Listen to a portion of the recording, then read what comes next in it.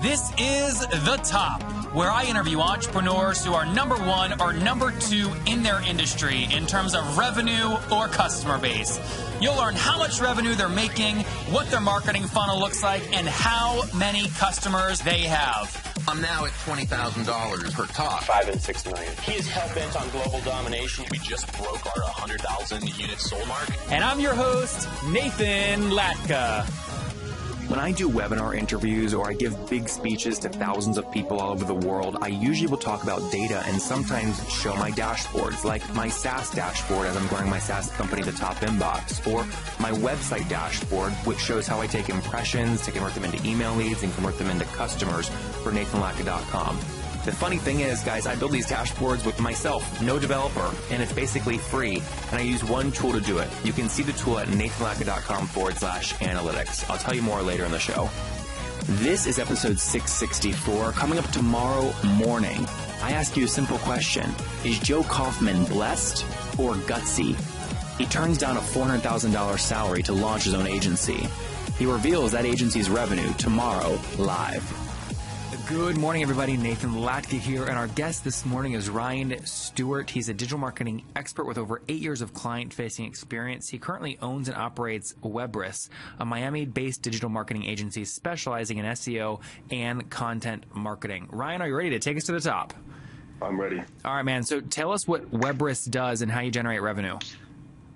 Yeah, so we are a uh, well, you pretty much covered it. Search engine optimization agency. We do a lot of content marketing and a lot of link building. Um, pretty much specializing in just generating organic growth for clients, any sort of clients, e-commerce, B2B, you name it, we do it. And what's the av- what's the average kind of customer paying you? And is it a retainer model or what? Yeah, so we pretty much have like a set retainer model. It's between five and six thousand a month, um, and it can go up if there's hours required outside of scope, or if they want to do extra link building. Okay, and uh, do you require a minimum number of months? Yeah, six six at a very minimum, but you're going to pay more for that. But we really try and get people at twelve. Okay, got it. And currently, how many uh, clients are you working with? Uh, about 22 at the moment. Okay, so I mean, can I do the math? Can I take 22 times about five grand and assume you guys are doing about 100 grand per month in revenue? Yeah, at a minimum. That's, yep. All right, great. And tell us more the backstory. So, what year did you launch this in? Uh, March of last year was the first when was when I took on the first like agency style client. So we just closed our like first year in operations this past year. That's amazing. So what, I mean, did you guys did you break a million the first year or no? Did you just miss it? Uh, no, we did about 750 the so, first yeah. year uh, for just agency revenue. That's great. It's great. Now you said yeah. just agency revenue. What else are you generating revenue on? I have a training, online training. Okay, so tell me more about that. What is it, and, and what's the model there? Yeah, so um, I mean, I guess the backstory is kind of important too. So I do a lot of content marketing for myself, um, YouTube, blogging, you name it, um, and uh, get a lot of traffic to our website. But when you sell kind of mid to high value retainers, you're obviously losing a lot of the market. So um, a lot of the traffic that was coming to our website, a lot of the people that were following me on social were actually other marketers and agency owners. Uh-huh. Um, so I had a nice little niche with them. So I put together a, a, link building training that really taught people how to do link building at scale um, and how to build like a small offshore team, low cost, and how to take like a very complex process, which is outreach. We just we blogger outreach, PR stuff, turn that into a process, and then scale it across you know as many clients as you have. Mm-hmm. And that's that sells for about a thousand dollars, and we sold about. Uh, I don't know, 250 of them over the last probably nine to nine to 12 months. Where do I go to see that? Uh, just type in Webris link building training in Google. Okay, uh, good guys. Yeah. We'll, link, we'll link to that in the show notes as well. Um, yeah, yeah, you've got. I'm looking on on your YouTube at the moment. I mean, you've got some of these videos, you know, getting you know 46,000 views. Did you do anything to intentionally drive that, or was it mainly organic? Yeah, I mean, so we I don't do any advertising on YouTube, but I've got like a pretty good uh, content. Like I know how to rank stuff. I know how to get more views on YouTube. It's based highly on engagement. Uh-huh. Um, so I have a pretty good email list. I've got a Facebook group with 10,000 people. I've got a very active Facebook page, active Twitter page, um, and then I also will build a blog post out of it, and I'll put it on like growth hackers and stuff. And I'm in some upvote rings. So a lot of the ones that have more views, I put a pretty good amount of like content promotion into it when I launched it and basically what happens is the more views that you get up front, the more engagement, the more likes, the more shares, the more comments, uh, the more you get seen in the up next videos. So those just kind of take off and snowball on their own. Got it. So when I'm looking at this one that says how to get more traffic right now, it's got 46,000 views. You kind of went all in on that. I mean, I put it on inbound and it did well there. Got it. And I mean, but it's got a ton of there, yeah. comments. It's got like 110 comments. It's, I mean, it sounds cliche, but like, you know, the videos I create are good and I've got enough of an audience where, and I know how to engage people and get comments on them too. That's part of kind of like the exposure process. So Give us two tips there. yeah.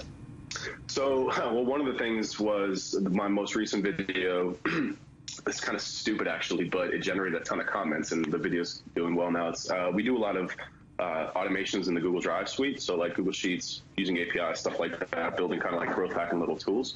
Um, and I did one that has 11 different examples of how we automate our agency with these different sheets. Um, and I posted, there's supposed to be a link to the thing, but it hadn't launched yet on our site. And like, I don't know, like 50 people commented on, like, there's no link. Um, Yeah, I but- see but- Miles Miles Woger going. Are you going to share the Sheets template? I couldn't see the tools on the URL above. Yeah, exactly. So, I mean, but other than that, I mean, uh, just. Well, wait, Ryan. Sorry, is that on purpose? You specifically say look for the link below, then don't include the link so they ask for it in a comment. So like no, that like yes and no. Come Like, on, yes, friggin' own I it. lo- If it's I intentional, own it. I, I launched that video knowing that the link was dead, and, and then I was kind of like, man, you know, F it, I'm gonna get some comments out of it. But ideally, I would have liked like we're building out kind of a platform on our website that's gonna host all those all those sheets. Dude, I think it's smart, man. I think you should own that. So, like, if you're listening right now, take that away. Like, commit to giving something of value in the video, like a link below, and then don't And include don't. it. and then after people ask, include it. It drives you organic placement Yeah. higher. All right, I'll take it. All right, good man. Ryan, give, give us another tip. One, another tip. Uh, let's do one specifically for for maybe driving views, not comments. Yeah, I mean, so email lists are always the best. So we, we do quite a bit of consulting on this for clients now too, because I just I think YouTube is more powerful than blogging. I think blogging is just saturated and it's stupid and it's annoying. I it's just my opinion on it, Yeah. um, and it takes too long to get exposure. And uh, so we push YouTube on clients a lot because it's its own growth engine, it's its own search engine. It's, it's, it's just a much better platform for engagement too, in terms of like user consumption metrics, which I'm also really big on. Like if somebody watches 30 seconds of a video, it's far more valuable than somebody reading an entire guide. That's just my Totally. So we push a lot of it on clients, and we build them kind of like a little mini checklist process, depending on the assets that they have. But number one is email list. If you have an email list and you can just get like a couple of hundred engaged views on your video, it's more than enough to set it in the right direction. So like email list is number one. How big's If your email got- list? Uh, it's about ten thousand right now. Okay, so and when it's you- got like a 30 percent open rate. It's, it's it's a good active list. Yeah, I was going to ask you that. So 10,000, Yeah. 30% open rate. And, and if you email that 10,000 list, how many clicks will that generate in the first 12 hours or so? About five hundred. Okay, so you did that with this 11 Google Sheet automations one.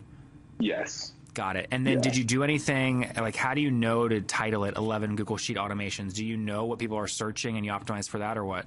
Yeah, it's kind of like using SEO knowledge. So basically, what I'll do is if I have it on, so I'll position it.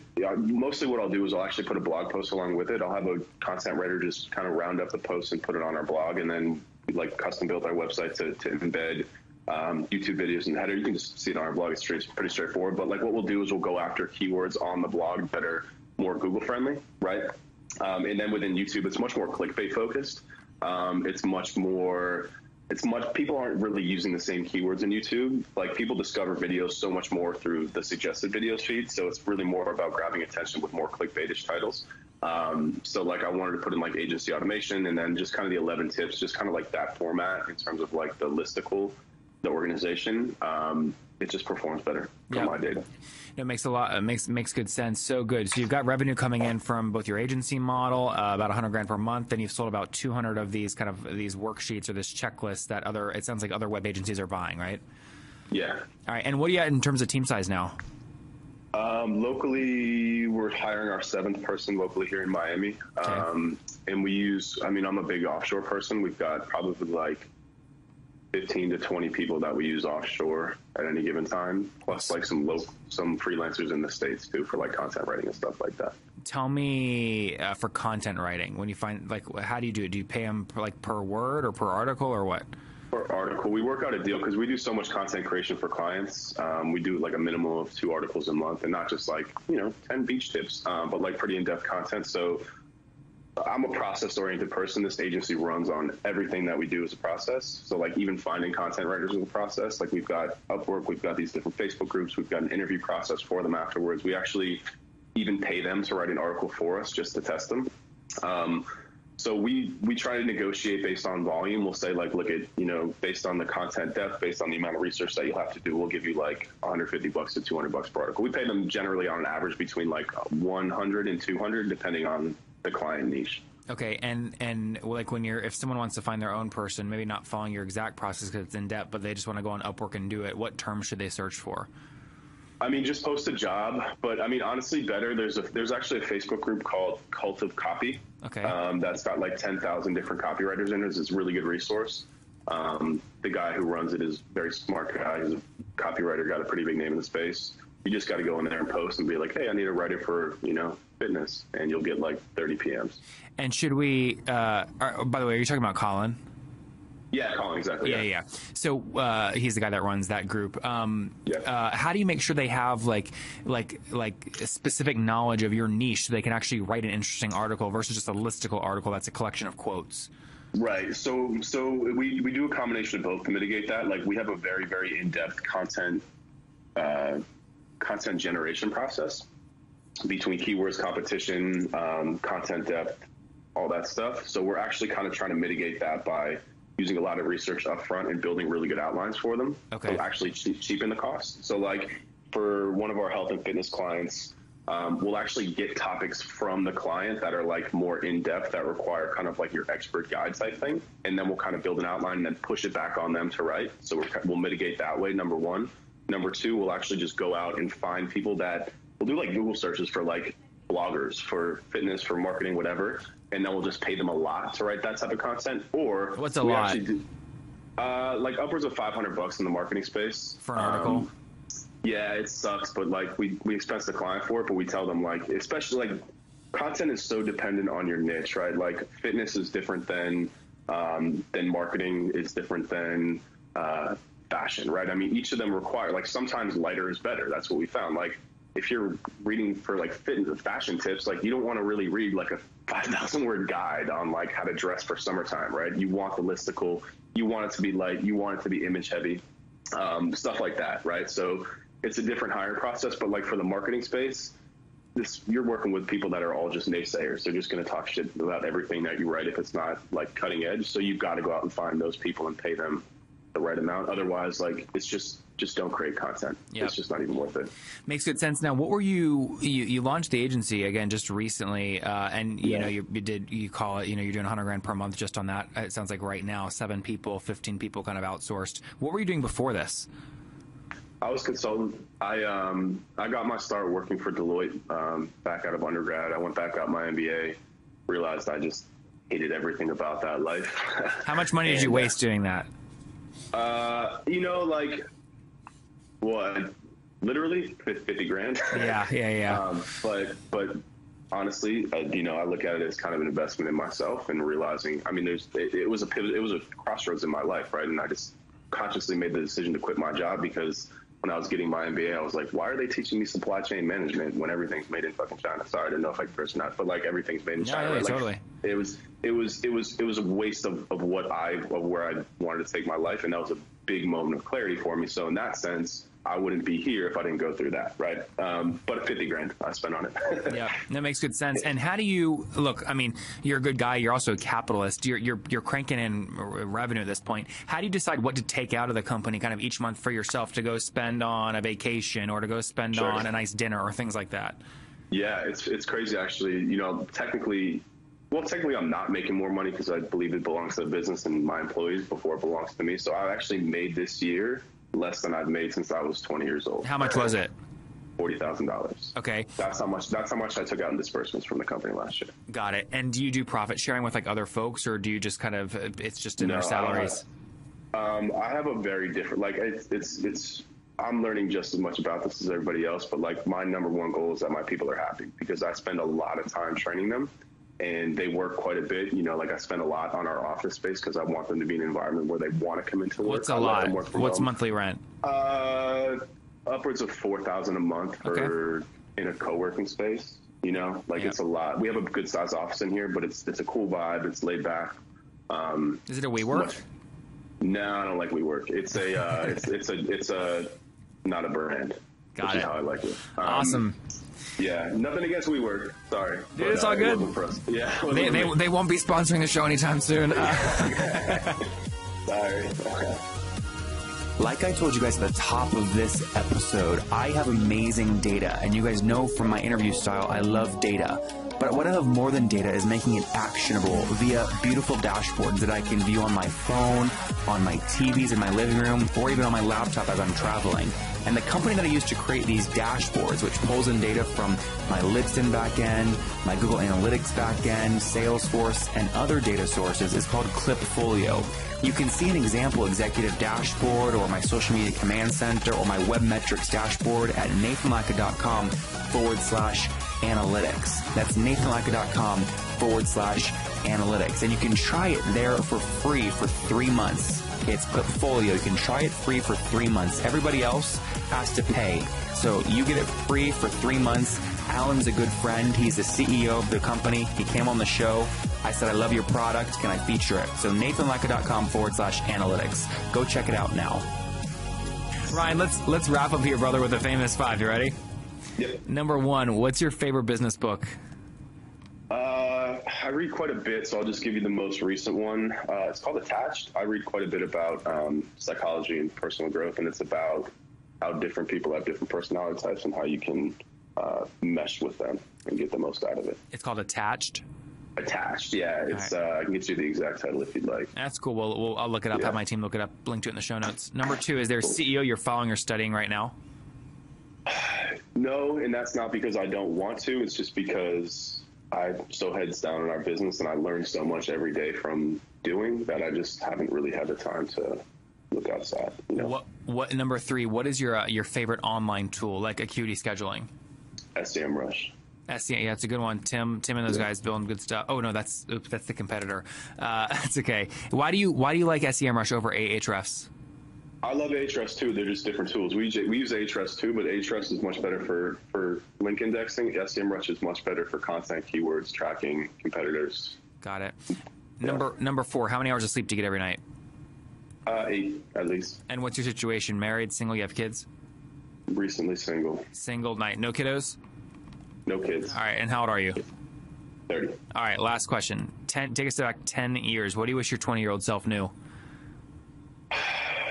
God. Uh, I mean, just self awareness things about who I am as a person, where I want to go, and how I want to live my life.